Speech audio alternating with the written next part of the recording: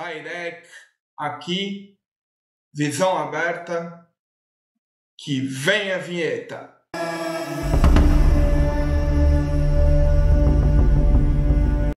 Respondendo à pergunta, o caos é válido? Para tanto, nós temos que avaliar duas questões básicas: a sua origem e a sua parte ética. Se na origem o caos foi gerado pela natureza e é em modo orgânico, foi gerado organicamente, sem influência do meio, que eu digo é de algum ser humano por iniciativa própria gerar o caos, ele é válido. Mas quando gerado numa condição pelo ser humano com o intuito de manipulação e tomada de poder, ele não é válido, porque ele fere conceitos éticos e morais. E fere também o princípio do amor, da alegria, da compaixão, da misericórdia de uma pessoa em expansão da consciência. Então, o que nós, que nós estamos querendo dizer?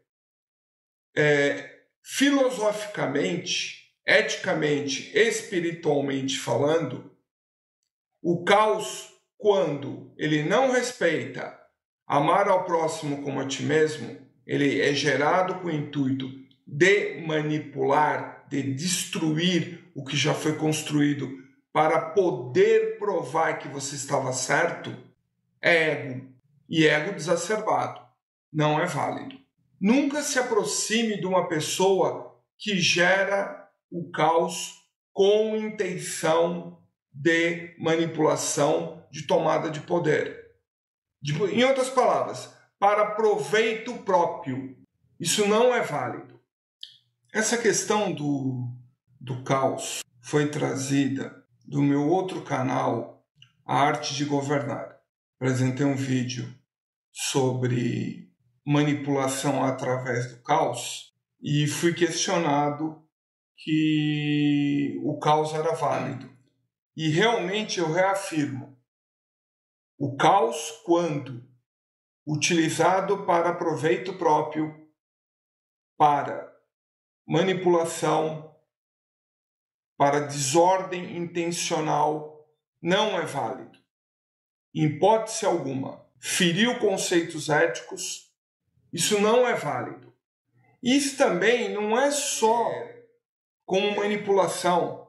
Por exemplo, se eu estiver fazendo uma, um projeto de, na área científica e eu aplicar um conceito de caos, e isso vai gerar uma, uma explosão no planeta, ou uma, uma explosão numa determinada região, eu nem devo iniciar o processo.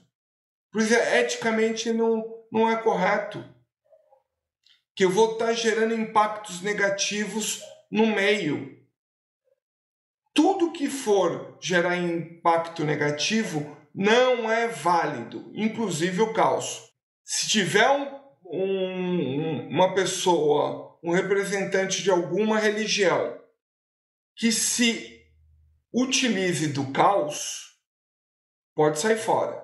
Não é válido, porque é manipulação. E nós já passamos da época de termos manipulações. As pessoas têm que estar conscientes dos seus atos. E, e, e, como eu já falei no meu vídeo, um outro vídeo meu de manipulação, o manipulador acaba com o seu futuro. Que ele, ele coíbe o seu direito de escolha. Ele coíbe um futuro melhor para você. Porque não é o, o seu futuro que você está escolhendo é o futuro que o manipulador quer que você faça, que você tenha. Não é algo que você está fazendo conscientemente. Não se esqueça de deixar o seu like. Ele é muito importante e alavanca nosso canal. E também não se esqueça de se inscrever. Se eticamente é incorreto não deve ser aplicado a teoria do caos. não deve-se, em momento algum, fazer a destruição do que já foi feito. Deve-se observar o passado, refletir e não cometer os mesmos erros que ocorreram no passado. O caos, para você ter uma ideia, no tarô, é definido pelo arcano 21, que é o louco. Se ele não tem fé, ele não sabe o que está fazendo, ele cai no abismo.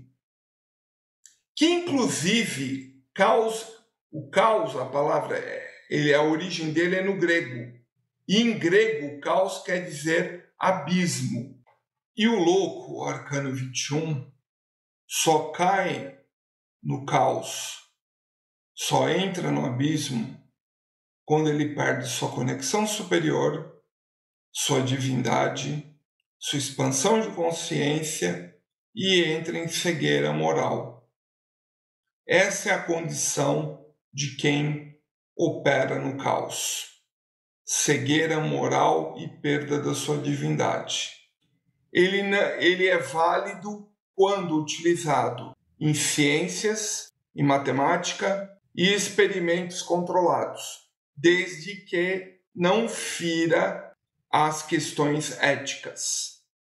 Já o caos gerado não organicamente, não naturalmente, for gerado intencionalmente e os efeitos colaterais dele forem negativos, por exemplo, manipulação, desordem emocional nas pessoas, e assim por diante, ele não é válido, porque o intuito dele é gerar a discórdia. E nós não viemos aqui para gerar discórdia. Nós estamos aqui para gerar entendimento, expansão da consciência e o bem-estar.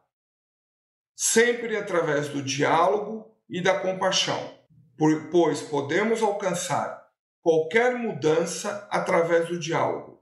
O caos que gere energias negativas, discórdia, manipulação, gere desequilíbrio intencionalmente com o intuito de destruir só para poder provar que o outro estava certo, o gerador estava certo, não é válido nem em hipótese alguma é válido. Quando gerar energias negativas. Tudo fora da alegria, da alegria, do amor, da compaixão, do amar ao próximo como a ti mesmo, não é válido. Eticamente reprovável. Essa é a questão do caos.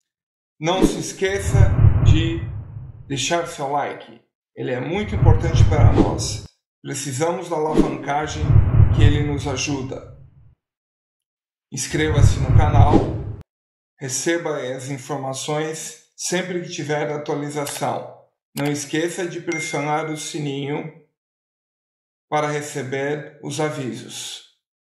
Em outras palavras, o caos que gere energia negativa, manipulação, mal-estar, discórdia, conflito entre as pessoas e gerado por uma pessoa conscientemente não é válido em hipótese alguma. Não tem justificativa para isso. O caos não é válido eticamente. Pronto, falei. Tairek aqui, visão aberta. Grande abraço, cantante.